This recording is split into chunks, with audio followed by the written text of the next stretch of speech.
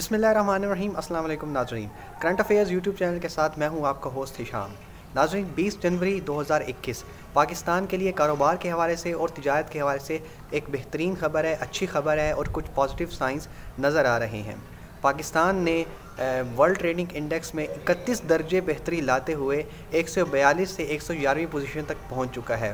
ये ख़बर क्या है? इसकी तफसीत क्या हैं? पाकिस्तान ने इतने दर्ज बेहतरी कैसे लाई? ये सब हम आपको इस वीडियो में बताएँगे। तो देखते रहिए करंट अफेयर्स यूट्यूब चैनल।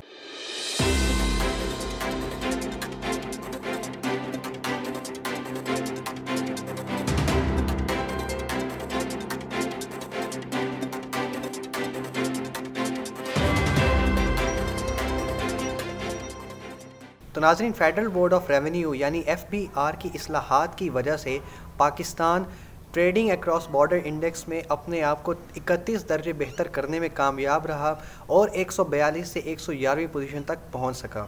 इस सिलसिले में बहुत से अवामिल जो है वो कारामद साबित हुए, लेकिन जो सबसे ज़्यादा कारामद जो फैक्टर साबित हुआ, जो अवामिल साबित हुआ, वो था कारोबार में आसानी पैदा करना, यानी ईज़ ऑफ़ डूइंग बिज़नेस को प्रमोट करना। नाजरीन, याद रहे कि ईज़ ऑफ़ डूइंग बिज़नेस के हवाले से 2020 में शाया होने वाली रिपोर्ट के मुताबिक पाकिस्तान ने अपने आप को 28 दर्जे बेहतर करते हुए 136 से 108वीं पोजीशन तक पहुँचा था ईज़ ऑफ़ डूइंग बिज़नेस के हवाले से। तो नाजरीन, पाकिस्तान की ये जो अचीवमेंट है कि वो ट्रेडिंग अक्रॉस बॉर्डर इंडेक्स में 31 दर्जे बेहतरी ला सका है, इसके पीछे जो एफ़ बी आर के कारनामे हैं एफ़ बी आर की काविशें हैं उनको सराहना बहुत ज़रूरी है और उनकी तफसीत आप तक पहुँचाना बहुत ज़रूरी है।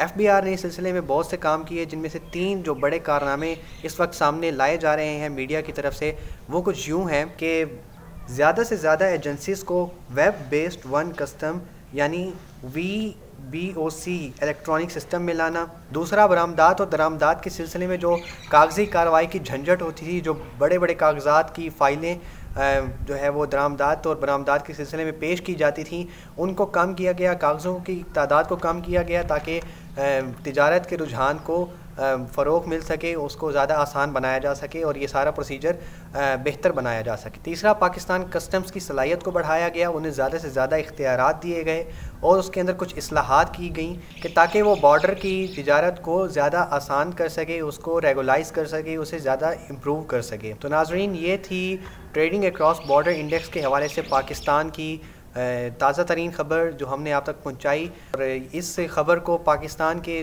देगर अखबार भी छाप रहे हैं और हर जगह इस खुशी को सेलिब्रेट किया जा रहा है, इस अचीवमेंट को सेलिब्रेट किया जा रहा है।